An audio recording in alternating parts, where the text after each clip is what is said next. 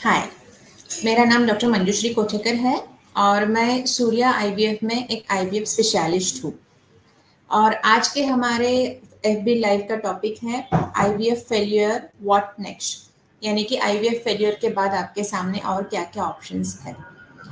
अभी तक तो आपने गूगल वगैरह से बहुत कुछ नॉलेज अचीव किया होगा, आपको तो पता ही होगा आईवीएफ के बारे में। स्टिल मैं उसके बारे में ब्रीफली शुरुआत में थोड़ा सा बताऊँगी तो आईवीएफ की शुरुआत पीरियड के सेकेंड डे से होती है। आपको 10-12 दिन के इंजेक्शन दिए जाते हैं, आपके फॉलिकल्स बढ़ाए जाते हैं और जब आपके फॉलिकल्स रेडी हो जाते हैं तो उसके बाद आपका एक प्रोसीजर होता है अंडर एनेस्थेशिया जिसमें हम आपके एग्स निकाल लेते हैं। फिर उन एग्स को हम आपके हस्बैंड के स्पॉम के साथ फ्यूज करते हैं, उससे एम्ब्रियोज बनाते हैं। उन एम्ब्रियोज को कल्चर किया जाता है और उन एम्ब्रियोज को हम ट्रांसफ़र करते हैं आपके यूट्रस के अंदर। या तो सेम साइकिल में ट्रांसफ़र होगा या नेक्स्ट साइकिल में ट्रांसफ़र होगा with frozen embryos embryo transfer के बाद 12 डेज़ के बाद 12 टू 15 डेज़ के बाद हम एक ब्लड टेस्ट करते हैं बीटा एच जिससे हमें पता चलता है कि जो हमने एम्ब्रियो अंदर डाले हैं, वो अंदर स्टिक हुए या नहीं, या इम्प्लांट हुए या नहीं. अगर बीटा एच पॉजिटिव है मतलब एम्ब्रियो इम्प्लांट हुआ है and it's a positive sign और अगर बीटा एच निगेटिव है इसका मतलब एम्ब्रियो इम्प्लांट नहीं हुआ और ये हमारे आईवीएफ फेलियर के लेवल में आ जाता है। तो आ, पहला क्वेश्चन आपके दिमाग में ये आएगा कि आईवीएफ में हंड्रेड परसेंट गारंटी क्यों नहीं है? हम तो सारा काम बाहर कर रहे हैं एम्ब्रियोज भी हम बाहर बना रहे हैं और तैयार एम्ब्रियोज को हम अंदर छोड़ रहे हैं तो वो तो स्टिक होने ही चाहिए हमें हंड्रेड परसेंट सक्सेस मिलना ही चाहिए राइट तो एक्चुअली हम सारा काम बाहर नहीं कर रहे। हम सिर्फ़ फिफ्टी परसेंट काम बाहर कर रहे हैं। और फिफ्टी परसेंट पार्ट इस पर भी डिपेंड करता है कि जो हमने एम्ब्रियो अंदर छोड़ा है, वो स्टिक हो पाएगा या नहीं हो पाएगा। इसके लिए it is never hundred percent अगर आपको कोई बता रहा है कि हमारे पास तीन साइकिल करो, हम आपको हंड्रेड परसेंट बेबी दे देंगे तो that is just a marketing gimmick and stay away from such marketing gimmicks मैं आपको साइंटिफिक फैक्ट बता रही हूँ कि हर एम्ब्रियो का एक पर्टिकुलर पोटेंशियल होता है स्टिक होने का। हमें ऐसा ही बनाया गया है ह्यूमन एम्ब्रियोज को। फ्रीज होते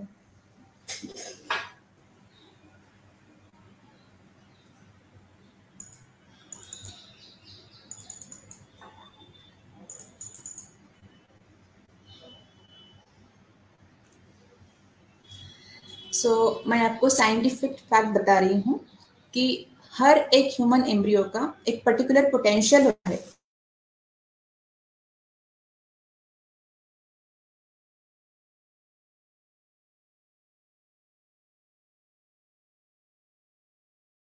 स्टिक होगा और इम्प्लांट होकर प्रेगनेंसी होगा। अगर हम दो एम्ब्रियो अंदर ट्रांसफ़र करते हैं तो दोनों का मिलके क्यूमुलेटिव चांस 50 परसेंट तक चला जाता है, अगर अच्छे एम्ब्रियोज है तो। तो ये ऐसा क्यों है? इट इज़ लाइक फ़ार्मिंग जब हम खेती करते हैं, तब हम भले बाकी सब चीज़ों की तैयारी करें, जैसे कि हम मिट्टी की मशागत अच्छी करें, अच्छे सीड्स लाए, उसको अच्छा फर्टिलाइज़र डालें, लेकिन फिर भी बारिश कितनी होगी, हम इरिगेशन करेंगे, फिर भी बाकी नेचुरल थिंग्स क्या क्या हो सकते हैं, उस पर हमारा कंट्रोल नहीं है। वी कांट गारंटी कि हमने जो सीड डाला है, उसमें से पौधा आएगा ही और उससे हमें जो आउटपुट मिलना चाहिए, वो मिलेगा ही। We can't guarantee hundred percent similarly यहाँ पे भी हंड्रेड परसेंट गारंटी कोई भी नहीं दे सकता कि जो एम्ब्रियो हमने डाला है, वो स्टिक होगा ही। इसीलिए हर एक आईवीएफ साइकिल का एक पर्टिकुलर चांस होता है। अगर मैं दो एम्ब्रियो अच्छे डालूं तो वहाँ पे 45 परसेंट तक चांस होता है 45 टू 50 परसेंट चांस होता है कि वो स्टिक होगा। इसका मतलब है कि 45 टू 50 परसेंट तक चांस है कि वो स्टिक नहीं होगा and it can be a failure also तो अभी हमें एक क्वेश्चन पूछा है मिस्टर रगीब ने कि उन्होंने पूछा है कि what happens if IVF is not successful IVF is not successful मतलब जो हमने एम्ब्रियो डाले थे, वो स्टिक नहीं हुए हैं। That means will have to make another attempt for pregnancy तो अनदर अटेम्प्ट क्या रहेगा? दैट डिपेंड्स हमें पहले सोचना पड़ेगा कि हमने जो एम्ब्रियो डाले थे, वो स्टिक क्यों नहीं हुए? उसका हम पहले रीजन फाइंड आउट करने का कोशिश करते हैं एम्ब्रियो का क्वालिटी कैसा है एंडोमेट्रियम कैसा था। हम कुछ करेक्शन कर सकते हैं क्या दोनों में से किसी चीज़ में? अगर दोनों भी अच्छे ही थे और कुछ फॉल्ट नहीं निकल पाया है तो what else can we do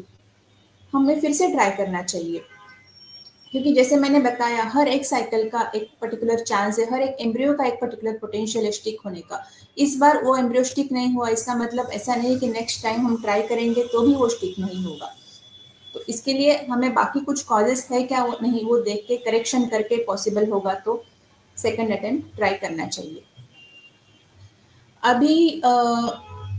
mister Bimal Pradhan ने हमें पूछा है कि how long is the IVF process from start to finish तो there are two parts of IVF process one is making an embryo second is transferring the embryo तो making an embryo start from second day of your cycle the female partner cycle हम 10-12 दिन के injection देते हैं और around fourteen day को वगैरह उनका एग रिट्रीवल होता है, जो प्रोसीजर है under anaesthesia so this is you can say 14 to 15 days part uh, uh, duration is required for making the embryos. उसके बाद ट्रांसफ़र सेम साइकिल में होगा या नहीं होगा it will depend on the hormonal status of the female मतलब उनका हम इस्ट्रोजन और प्रोजेस्ट्रॉन हार्मोन का लेवल चेक करते हैं। उनके अगर ज़्यादा फॉलिकल्स ग्रो हुए हैं और अगर हाइपर स्टिमुलेशन का पॉसिबिलिटी लग रहा है उनको ब्लोटिंग है थोड़ा सा फ्लूड जमा हो गया है डमन में वगैरह वगैरह वैसा कुछ लग रहा है तो एम्ब्रियोस फ्रीज किए जाते हैं। एंड उसके बाद सेकेंड साइकिल में हम उनका फ्रोजन एम्ब्रियो ट्रांसफ़र करते हैं। But frozen embryo transfer is not as stressful as making the embryos जब हम एम्ब्रियोज बना रहे हैं तो उनको डेली इंजेक्शन लेना है। तो फिफ्टीन डेज़ पीरियड इज़ उनको जब टाइम पे सब मेडिकेशन लेना है टाइम पे स्कैन पे आना है। But frozen embryo transfer is just like your natural pregnancy thing आपको सिर्फ़ टैबलेट्स दिए जाएँगे शुरुआत में। स्कैन्स भी लेस फ्रिक्वेंटली होंगे which you can adjust with your work timings also so so, अगर सेम साइकिल में ट्रांसफ़र हो रहा है तो whole process takes around twenty five days और हमें रिज़ल्ट अराउंड थर्टी या thirty first thirty second day को मिल जाएगा कि हम सक्सेसफुल है या नहीं। और अगर ट्रांसफ़र सेम साइकिल में नहीं हो रहा है नेक्स्ट साइकिल में हो रहा है तो making the embryos will take fifteen to twenty days और उसके बाद वाले साइकिल में ट्रांसफ़र होगा। सो रफली you can say two months अभी uh, मैंने आपको आईवीएफ फेलियर के बारे में बता दिया। निर्मल प्रधान ने हमें पूछा है कि इज़ आईवीएफ पेनफुल ये क्वेश्चन बहुत बार बहुत सारे पेशेंट्स के दिमाग में होता है और इसकी वजह से बहुत सारे पेशेंट्स आईवीएफ का पोस्ट ट्रीटमेंट पोस्टपोन करते रहते हैं पोस्टपोन करते रहते हैं। इतने लेवल तक पोस्टपोन करते हैं कि उस टाइम पे कभी कभी उनके सेल्फ एक से आईवीएफ हो भी नहीं पाता। तो IVF is not at all painful ठीक है? थोड़ा डिस्कम्फर्ट है उसमें। क्योंकि ये जो हम इंजेक्शन देते हैं उस टाइम पे आपके फॉलिकल्स बढ़ने लगते हैं, उसकी वजह से आपका ओवरिज का साइज़ थोड़ा बड़ा होगा। वो भी हम 10-12 दिन के इंजेक्शन देंगे तो फ़र्स्ट फाइव सिक्स डेज़ में आपको ज़्यादा कुछ डिफरेंस नोटिस नहीं होगा, लेकिन नेक्स्ट फाइव सिक्स डेज़ में लास्ट पार्ट ऑफ़ दो टेन डेज़ उसमें हो सकता है कि बड़े ओवरीज है, इसके लिए आपको थोड़ा सा एबडामिनल डिस्कम्फर्ट है। It's like having two balls in your abdomen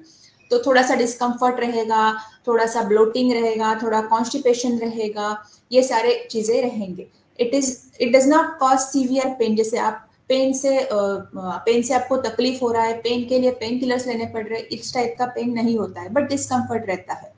उसके बाद जो प्रोसेस है, जिसमें हम आपके फॉलिकल्स में से एग्स निकालते हैं एग रिट्रीवल का process it happens under anaesthesia तो ऑब्वियसली हम एनेस्थेशिया दे रहे हैं तो उसका पेन आपको फील नहीं होगा।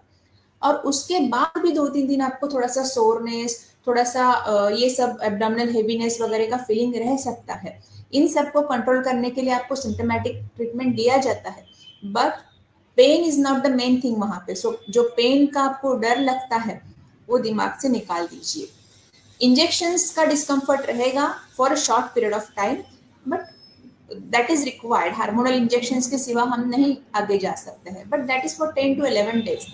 उसके बाद आपको डिस्कम्फर्ट वगैरह रहेगा दो तीन दिन के लिए। उसके बाद पेन एक्सपेक्टेड नहीं है। So unless there is any other complication it is not painful okay अभी शुभम त्यागी ने हमें पूछा है where are eggs and sperms and embryo store so उनको स्टोर किया जाता है लिक्विड नाइट्रोजन में। स्पेशल क्रायोकैंस होते हैं लैब में। And the temperature at which they are stored is minus 196 degree Celsius तो उसके पहले उनको जब नॉर्मल टेम्परेचर पे है, वहाँ से उनको विट्रीफाई किया जाता है सो दैट एग्स रहे स्पॉम्स रहे या एम्ब्रियोज रहे सो दैट उसी स्टेज में वो स्टैटिक रहेंगे, जिस स्टेज पे हम उनको फ्रीज कर रहे हैं। और उसके बाद उनको लिक्विड नाइट्रोजन के कैंस में रखा जाता है। इन क्रायो कैंस का लिक्विड नाइट्रोजन हम पीरियोडिकली रिफिल करते रहते हैं। That is one part of our quality assessment also कि कोई लैब अगर बराबर से पीरियोडिकली रिफिल नहीं कर रहा है तो that will not survive so हम उसको पीरियोडिकली रिफिल करते रहते हैं ताकि वो एम्ब्रियोज अच्छे तरह से रहे and once frozen they can be frozen maximum up to five years safely okay अभी अमरनाथ अरोरा ने हमें पूछा है कि is second cycle of IVF more successful so ऐसा तो कुछ है नहीं कि फ़र्स्ट साइकिल में सक्सेस नहीं मिलेगा और सेकंड साइकिल में ही सक्सेस मिलेगा। And as far as I am concern I can tell you कि every doctor gives his hundred percent in the first cycle it तो जो भी हमें ट्राई करना है, हम पहले साइकिल में ही अच्छी तरह से पूरा ट्राई करते हैं। बट जैसे मैंने बताया, हर बार, हर साइकिल का एक पर्टिकुलर चांस है सक्सेस मिलने का। हर एम्ब्रियो का एक पर्टिकुलर पोटेंशियल है स्टिक होने का। तो अगर फ़र्स्ट टाइम अगर स्टिक नहीं हो पाता है बिकॉज़ ऑफ़ सम रीजन तो सेकेंड साइकिल के पहले हम और ज़्यादा असेसमेंट कर दे कि एग्जैक्टली exactly क्या रॉन्ग हो सकता है। तो यहाँ पे मैं आपको बताना चाहूँगी कि what can be the reasons of IVF failure तो बेसिकली रीजंस तो बहुत सारे हैं लेकिन मैं अगर उनको डिवाइड uh, कर लूँ तो it boils down to two things only first is either the fact can be fault can be with the embryo second is the second possibility is the fault can be with the endometrium मतलब या तो जो हम डाल रहे हैं, बीज वहाँ पे प्रॉब्लम है, या फिर जो मिट्टी है, वहाँ पे प्रॉब्लम है। तो एम्ब्रियो के अंदर अगर कुछ फॉल्ट रहेगा it can come from the egg और स्पर्म क्योंकि एग और स्पर्म से ही हम एम्ब्रियो बना रहे हैं। तो हम उनका क्वालिटी इंप्रूव करने का कोशिश करेंगे। और जो एम्ब्रियो बनते हैं, उनको हम अच्छी तरह से सेलेक्ट करें, जैसे कि मॉर्फोलॉजिकली हम उनको देख के अच्छा ग्रेडिंग करके, अच्छे ग्रेड के ही एम्ब्रियो सेलेक्ट करें, उनको ब्लास्टोसिस्ट तक ग्रो करें और ब्लास्टोसिस्ट बनता है तो ही हम उनको अंदर डालें। इन सम केसेस हमें जेनेटिक एनालिसिस भी करना पड़ता है, जिसे हम बोलते हैं PGT pre implantation genetic testing जो एक बायोप्सी से हम कर सकते हैं या अभी नया तरीका है नॉन इन्वेजिव पीजीटी भी हम कर सकते हैं, जिससे हम जेनेटिकली नॉर्मल एम्ब्रियो सेलेक्ट करते हैं। इस तरह से हम अच्छा एम्ब्रियो सेलेक्ट करें। और अगर एंडोमेट्रियम में मतलब यूट्रस में कुछ फॉल्ट है, उसे भी हम करेक्ट करें हिस्ट्रोस्कोपी करके अगर कुछ पॉलिप है तो उसको निकाल ले, कुछ एडेजेंस वगैरह है तो उनको भी करेक्ट करें। So if we do all the things after the first failure then obviously second time there are more chances of success but ऐसे कुछ फैक्ट नहीं है कि second cycle of IVF is more successful than first cycle of IVF we give our hundred percent in every cycle of IVF और हमें हर साइकिल में ही पेशेंट को प्रेग्नेंट बनाना होता है। ओके okay, अभी मिसिस कुहू डी ने हमें पूछा है कि can she conceive naturally after failed IVF अभी इसका रीजन उस इसके आंसर के लिए पहले हमें ये देखना पड़ेगा कि आपको आईवीएफ की ज़रूरत क्यों पड़ी थी? मतलब अगर आपका अनएक्सप्लेन इन्फर्टिलिटी का केस है, आपके एग्स है स्पर्म्स है हस्बैंड के यूट्रस भी ओके okay है और ट्यूब्स भी ओपन है मतलब जो भी फैक्ट जो भी चीज़ें हम चेक कर सकते हैं, वो सारी चीज़ें ओके okay है और फिर भी आपको प्रेगनेंसी नहीं हो रहा था, जिसे हम बोलते हैं अनएक्सप्लेन इन्फर्टिलिटी और उसके लिए आपको आईवीएफ लगा। तो डेफिनेटली आप नेचुरली कंसीव हो सकते हो, क्योंकि आप अनएक्सप्लेन इन्फर्टिलिटी में there was something which is inhibiting the fertilisation proper fertilisation of the eggs and sperms और उसके बाद जो एम्ब्रियो बन रहा है, उसका क्वालिटी अगर अच्छा नहीं है या एम्ब्रियो स्टिक नहीं हो रहा है तो प्रेगनेंसी नहीं होता है। बट किसी साइकिल में नेचुरली भी अच्छा फॉलिकल बन सकता है अच्छा एग आ सकता है, एक अच्छा स्पर्म वहाँ तक पहुँच गया और एम्ब्रियो बन गया अच्छी क्वालिटी का तो definitely you have chance of conceiving naturally even after failed IVF but we cannot predict कि कब होगा कितना चांसेस है, कौन से साइकिल में होगा that is something we can not predict but अगर कोई रीजन ऐसा है जिसमें प्रेगनेंसी हो ही नहीं सकता है नेचुरली जैसे कि किसी के अगर ट्यूब्स ब्लॉक्ड है, अगर दोनों फेलोपियन ट्यूब्स ब्लॉक्ड है तो वहाँ पे नेचुरल प्रेगनेंसी का चांस नहीं है। आईवीएफ के सिवा वहाँ पे और कोई ऑप्शन नहीं है। तो यहाँ ऐसे केसेस में आईवीएफ फेलियर के बाद नेचुरल प्रेगनेंसी रहने का चांस ज़ीरो के बराबर रहेगा। लेकिन अनएक्सप्लेन इन्फर्टिलिटी के केसेस में definitely the patient can conceive even after a failed IVF natural okay अभी असना किनान जिमान ने हमें पूछा है what should I do after failed IVF okay so first of all first advice is don't get depressed because जैसे मैंने बताया every cycle has a particular chance of success that means every cycle has a particular chance of failure also so, first and foremost is your mental health. Don't get depressed. Failure can happen.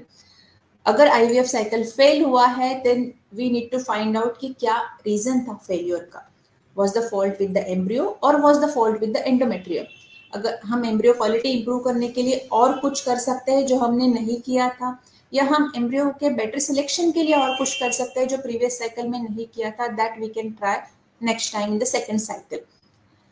there are some cases जहाँ पे कुछ भी fault नहीं मिल सकता है। मतलब embryo भी हमने अच्छी तरह से सिलेक्ट किया है। ब्लास्टोसिस था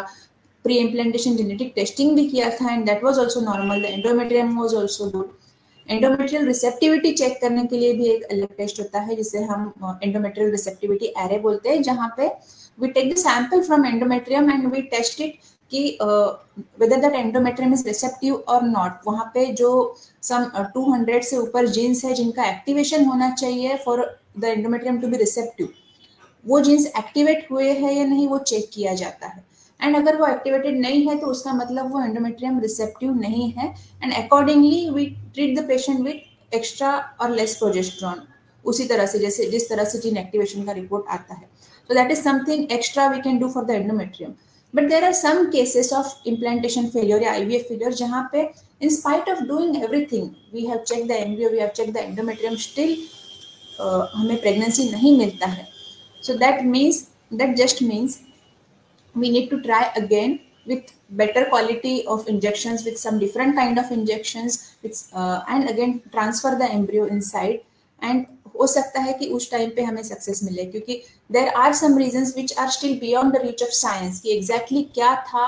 एग्जैक्टली exactly क्या नहीं हुआ एम्ब्रियो और एंडोमेट्रियम के बीच में जिसकी वजह से इम्प्लांटेशन नहीं हुआ दैट इज़ समथिंग हमें अभी कुछ कुछ चीज़ें पता नहीं है। But we can just try again and see कि नेक्स्ट टाइम सेकेंड टाइम में वो होता है एंड सेकेंड टाइम पे कंसीव हो सकते हैं।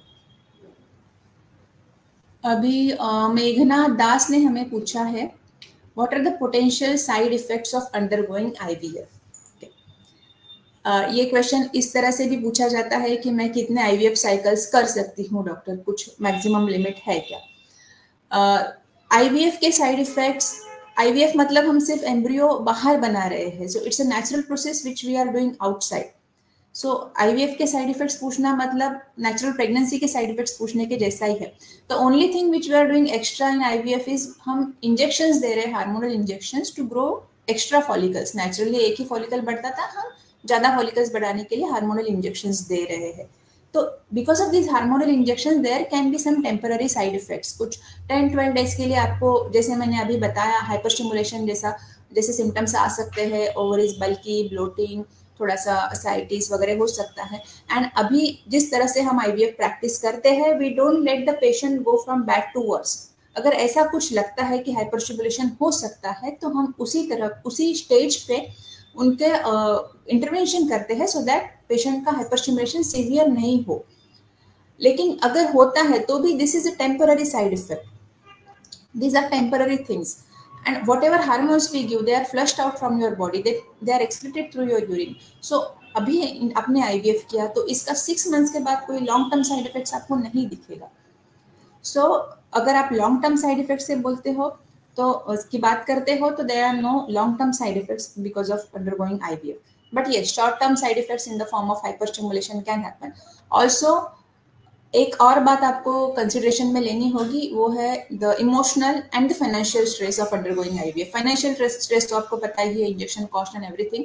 but emotional stress also वो चीज़ें टाइम पे करना इंजेक्शन लेना, और होप लगाना हर बार की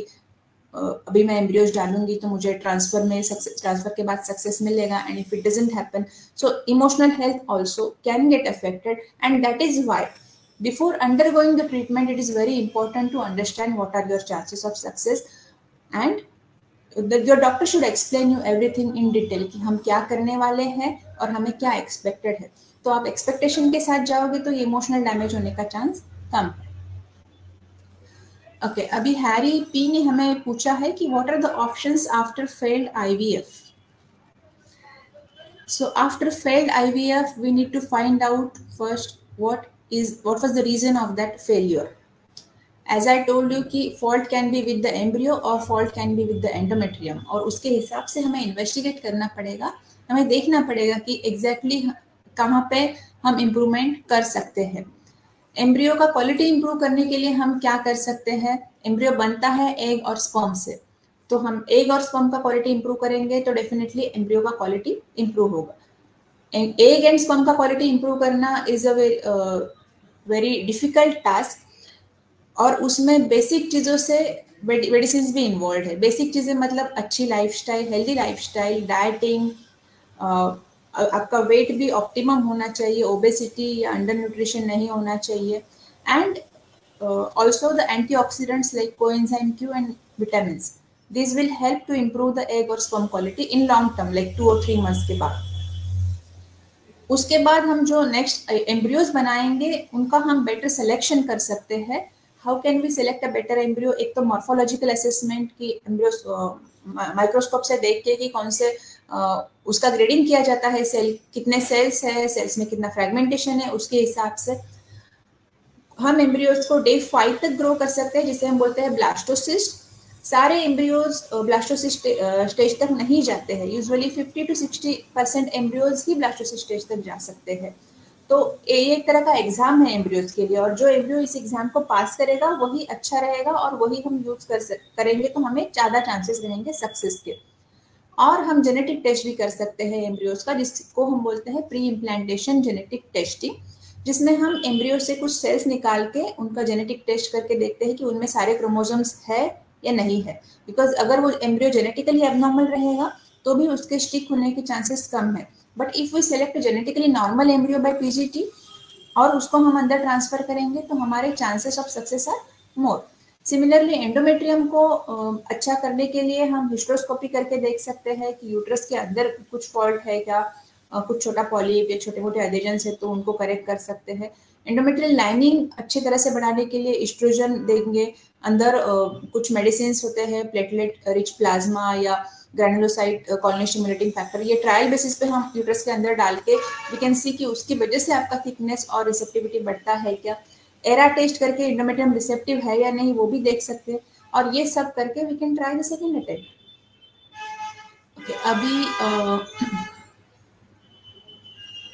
लक्ष्मी नारायण नायक ने हमें पूछा है कि is there anything that could negatively impact IVF success so there are many things which could negatively impact the IVF success अगर आपका एम्ब्रियो अच्छी क्वालिटी का नहीं है अगर आपका एंडोमेट्रियम अच्छी तरह से ग्रो नहीं होता है if you have a hydrosalpinx which is not treated that also can affect your chances of uh, success if you have any medical condition like particularly the female partner like obesity diabetes uncontrolled I mean to say या thyroid condition uncontrolled तो वो भी it can also affect there are some blood condition where in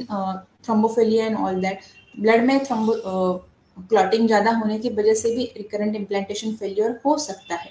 So the list is endless I can say there are multiple things which can affect the chances of I V F success one one more important thing which can affect your chances of I V F success is the uh, quality of lab where you are doing the treatment. Because ivf में हम एक human life body के बाहर बना रहे हैं। तो हमें पूरा जैसे ह्यूमन बॉडी में वो एम्ब्रियो बनता था जैसे वो ग्रो होता था उसी तरह का एनवायरनमेंट उनको लैब में देता देना होता है ideally and if we cannot give that kind of environment to the embryo outside ये किस केस में होगा? अगर लैब का क्वालिटी मेंटेनेंस अच्छा नहीं होगा तो ऐसे हो सकता है। जिसकी वजह से जो एम्ब्रियो ग्रो होगा, उसका पोटेंशियल कम होगा स्टिक होने का। So that is very important where you are doing your treatment okay अभी काथी रावत ने हमें पूछा है how many attempts does it take for IVF to work तो अगर हमारा सब कुछ अच्छा बनता है एम्ब्रियो एंडोमेट्रियम एवरीथिंग तो हमारे, हमें फ़र्स्ट साइकिल में भी सक्सेस मिल सकता है। ऐसे कुछ नहीं कि हमें इतने अटेम्प्ट करने के बाद ही सक्सेस मिलेगा। और there is no upper limit for trying also ऐसे नहीं कि पाँच साइकिल ट्राई किया, उसके बाद मैं ट्राई ही नहीं कर सकती हूँ, ऐसे भी नहीं है। I have seen patients have tried like eight nine times और उनको उसके बाद सक्सेस मिला है। लेकिन हमारा जो एम रहता है, जो गोल रहता है it is always to make the patient pregnant in the first cycle it's okay अभी राना अयूब ने पूछा है why is it necessary to have so many eggs while undergoing IVF okay very good question Rana so naturally हम जब pregnancy होता है तो it happens with only one egg so so, आप जो सोच रहे हो वो बहुत ही लॉजिकल है कि अगर वन एग से नेचुरली प्रेगनेंसी हो सकता है तो हमें आईवीएफ में इतने सारे एग्स क्यों बढ़ाने पड़ते हैं? तो the thing is that IVF का जो मेन जो मेन प्रोसेस है जिसमें हम आपका एग्स बाहर निकालते हैं और इक्सी के टेक्निक से जिसे बोलते हैं ओवन पिकअप उसके बाद इक्सी के टेक्निक से एग और स्पम को हम फ्यूज करते हैं और एम्ब्रियो बना के हम उसको अंदर छोड़ते हैं। So that process itself cost you something रफली वन लैख एंड उस, अगर हम ये सिर्फ़ एक ही फॉलिकल के साथ करेंगे तो कभी कभी that follicle can be empty अगर वो फॉलिकल एम्प्टी रहेगा टेन फॉलिकल्स में एक फॉलिकल एम्प्टी रहेगा, मुझे नाइन एक्स तो मिल जाएँगे, उसके बाद मेरे एम्ब्रियोस बन जाएँगे. लेकिन एक ही फॉलिकल है और वो एम्प्टी रहेगा तो हमारा पूरा अटेम्प्ट वेस्ट गया कभी कभी उससे मिलने वाला एग अच्छा नहीं है मेच्योर नहीं है, या अच्छी क्वालिटी का नहीं है, या फर्टिलाइजेशन नहीं हो पाया उससे, या उससे जो एम्ब्रियो बना है वो अच्छी क्वालिटी का नहीं है. तो मेरा चांसेस कम हो जाता है, क्योंकि मैं अगर दो अच्छे एम्ब्रियो अच्छे क्वालिटी के एम्ब्रियोज डालती हूँ then I can assure at least fifty to sixty percent chance of success लेकिन अगर मेरे पास एक ही एग है तो वहाँ से मुझे एक ही एम्ब्रियो बनेगा और वो किस क्वालिटी का बनेगा दैट आई कैनॉट टेल लेकिन मेरे पास अगर दस या सात, आठ एग्स रहेंगे तो उसमें से three four it's like a pyramid दस एग्स रहेंगे तो उसमें से नौ मैच्योर निकलेंगे, उसमें से आठ फर्टिलाइज हो गए अच्छे से. और बाय द uh, जब तक हम ग्रो करते हैं डे फाइव तक तो हो सकता है वहाँ तक उस स्टेज तक मेरे पास तीन या चार एम्ब्रियो रहेंगे। तो उसमें से मैं बेस्ट एम्ब्रियो सेलेक्ट करके डालूँगी तो मेरा सक्सेस का चांस अच्छा रहेगा। So that is why to improve the chances of success to have better embryo selection we need to have more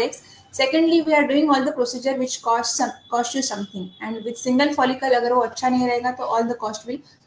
go in vain. So that is why it is necessary to have so many eggs while undergoing ivf but we make an attempt कि बहुत ज़्यादा hyper stimulation ही नहीं हो। This is called as controlled hyper stimulation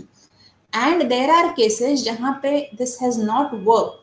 तो natural cycle IVF का भी option दिया जाता है, जहाँ पे हम आपका जो नेचुरली एक फॉलिकल बड़ा है, उस, उससे ही हम एग्स निकालते हैं, उससे एम्ब्रियो बनाते हैं और उसको हम ट्रांसफ़र करते हैं। Okay I hope that this is satisfied your question okay अभी दीपक शर्मा ने हमें पूछा है does the process change if using donor eggs और sperm the process of IVF remains the same okay क्योंकि आईवीएफ या इक्सी हम एग्स और स्पर्म्स के साथ कर रहे हैं तो द प्रोसेस वो तो सेम ही रहेगा, लेकिन डोनर एग में एग्स हम डोनर के लेते हैं, आपके एग्स नहीं लेते हैं बिकॉज़ ऑफ़ सम रीजन जो आपसे डिस्कस किया जाएगा ऑब्वियसली और उसके बाद ही वो डिसीज़न लिया जाएगा। Usually the donors are young in age like thirty years से कम होते हैं they have their own child in case of female donors I am talking about और उसके बाद ही वो डोनेट कर सकते हैं बाय लॉ तो here the eggs are known to be fertile because they have their own child one at least one तो इसके लिए भी एक्सपेक्ट कि हमें जो एक क्वालिटी मिलेगा, वो अच्छी क्वालिटी के एग्स मिलेंगे, अच्छी नंबर में भी मिलेंगे एटलीस्ट सेवन टू एट तो हमें मिल जाएँगे. तो इसके लिए वहाँ पे हमारे chances of success are little bit better than self IVF लेकिन किसी को सेल्फ में भी उतने एग्स मिल रहे हैं तो ऑब्वियसली उनको डोनर एग्स का ऑप्शन सजेस्ट ही नहीं किया जाता है या एडवाइस नहीं किया जाता है। Similarly with donor sperms also अगर सेल्फ स्पर्म्स है और अच्छी क्वांटिटी में है स्पर्म का काउंट जो है 15 मिलियन पर एमएल के ऊपर होना चाहिए, जिसमें से 40 परसेंट जो है मोटाइल होने चाहिए तो उसके हिसाब से अगर स्पर्म अच्छी क्वालिटी के है तो डोनर स्पर्म का ऑप्शन नहीं एडवाइस किया जाता है। लेकिन अगर वहाँ पे कुछ इश्यू है या किसी को स्पर्म काउंट ज़ीरो हो जाता है एजोस्पर्मिया होता है तो वहाँ पे हमें डोनर स्पर्म यूज़ करने पड़ते हैं। तो before taking the donor sperms it is seen कि वो सैंपल में काउंट अच्छा है या नहीं, और उसके बाद ही उनको लिया जाता है। तो ऑब्वियसली दोनों अगर क्वालिटी अच्छा रहेगा तो हमारा chances of success will be more but the process essentially remains the same Okay, Drisha Joshi has asked, how soon can I get pregnant after failed IVF? Uh, ऐसे कुछ लिमिट है नहीं। अगर आपने अभी अभी if you have recently undergone IVF cycle if you have recently undergone ovum pickup तो probably your ovaries are little bit bulky और उनको नॉर्मलाइज नॉर्मल साइज़ में आने के लिए थोड़ा टाइम लग सकता है। वन और वन मंथ इसेंशियली एंड उसके बाद can try for your next cycle also so maybe अगर आपका ओवरीज नॉर्मल साइज़ में ही है if the follicular growth was not much या फिर आपका जो, आपने जो अटेम्प्ट किया था, वो फ्रोजन एम्ब्रियो ट्रांसफ़र का था and there no wherein injection involve so you can try immediately after that failed IVF cycle as well immediately in the second cycle okay Anshika Sharma ने पूछा है will I lose eggs faster if I take fertility drugs that result in multiple eggs ovulating and releasing each month okay this is also a very good question i will say anshika so, uh, ये जो egg reserve का concept है it's like what you can say back storage of a shop कोई दुकान रहती है तो पीछे माल आके पड़ा हुआ रहता है तो जो जब वो माल मंगाते हैं they ask for like three months का माल एंड देन उसमें से सब suppose you can say milk tetra packs है, जिनका थ्री मंथ्स का एक्सपायरी है, और उसमें से हर रोज पाँच पाँच आगे रख देते हैं for selling so similar way में नेचर हमें जब वीमेन इज़ बॉर्न उसके साथ एक पर्टिकुलर नंबर ऑफ़ फॉलिकल्स आते हैं. It's like a back storage और उसी में से हर मंथ कुछ आगे आ जाते हैं, कुछ आगे रखे जाते हैं. उसमें से एक फॉलिकल ग्रो होता है till the last stage and the rest are destroyed in that process atrophy हो जाता है उनका. सो सपोज़ सेकंड डे को स्कैन पे हम देखेंगे तो फाइव सिक्स फॉलिकल्स मुझे दिख रहे हैं। उसमें से मैं कुछ नहीं करूँगी इंटरवेन तो नेचुरली एक फॉलिकल बढ़ेगा, लेकिन बाकी के फोर ऐसे नहीं कि वहीं पे रह जाएँगे। They will get destroyed in that process जब हम आईवीएफ करते हैं तो ये जो आगे हुए, आए हुए फॉलिकल्स हैं, उनको ही हम ग्रो कर रहे हैं। हम बैक स्टोरेज से फॉलिकल्स को नहीं आगे ला सकते हैं। तो जो आगे आए हुए जो आइदर ग्रो होने वाले थे या एट्रॉफी होने वाले थे, उनको ही हम ग्रो कर रहे हैं। So you will not your egg reserve will not reduce faster because of you undergoing multiple IVF cycles okay okay Ankita Sonkar ने हमें पूछा है what are the chances of getting pregnant with IVF depends on uh, what uh, how many embryos we get and what are the grades of the embryos. अगर मैं दो अच्छे grade के embryos transfer करती हूँ तो आई कैन रफली say cumulative chance of making you pregnant is 50 percent to fifty one embryo has रफली thirty to thirty five percent chance of implantation sticking और मैं दो डालूँगी तो it will be forty five to fifty percent अगर मैं single embryo डालूँगी and day five का डालूँगी ब्लास्टोसिस्ट का तो रफली I can say forty percent chance है. But the embryo grade should be good so this is a dynamic thing and there is no one single answer to this question. And it depends on the embryo grade as well as the endometrial quality. Okay. Rakesh Chandra Tiwari ने हमें पूछा है what causes recurrent implantation failure so there are multiple reason but जैसे मैंने पहले बताया कि अगर मैं क्लासिफाई करूँगी रीजंस को there are basically two types of reason either the fault is with the embryo और the fault is with the endometrio okay अभी नेक्स्ट तरुण दयाल ने हमें पूछा है what is the most common reason for IVF failure most common reason for IVF failure अभी जैसे मैंने बताया the fault can be with the embryo और with the endometrium and in 70% of the cases the fault is with the embryo and 30% of the cases it is with the endometrium so the most common reason we can say the fault that the embryo जो हमने transfer किया था was not of a good quality was not of a good grade it stopped its growth और it was not genetically normal so that is the most common reason of IVF failure Okay, अभी नभ दीक्षित ने हमें पूछा है how many failed IVF before success तो there is nothing like that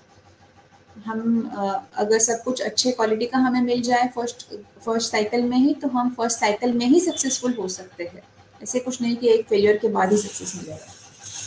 Vineet Mishra ने हमें पूछा है hi doctor what should I do after failed IVF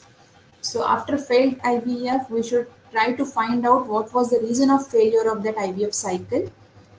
Uh, then we should try to make good quality embryos antioxidants वगैरह देके eggs का और sperms का क्वालिटी इंप्रूव करेंगे एम्ब्रियोज का ब्लास्टोसिस्ट तक बढ़ा के उनको अच्छा अच्छी तरह से हम एम्ब्रियो सेलेक्ट करेंगे for transfer we can do pre-implantation genetic testing for that embryo. So to make sure that it is genetically normal we can also work on your endometrium by doing the advanced tests like hysteroscopy or endometrial receptivity array and after that we can try the second cycle. Okay uh, so i think i think i have answered all the questions till now if you have still more question आप इस number पर हमें contact कर सकते हैं। uh, हमारा clinic Santa Cruz area में Santa Cruz west में है और you can come for consultation to ask further questions okay thank you bye have a good day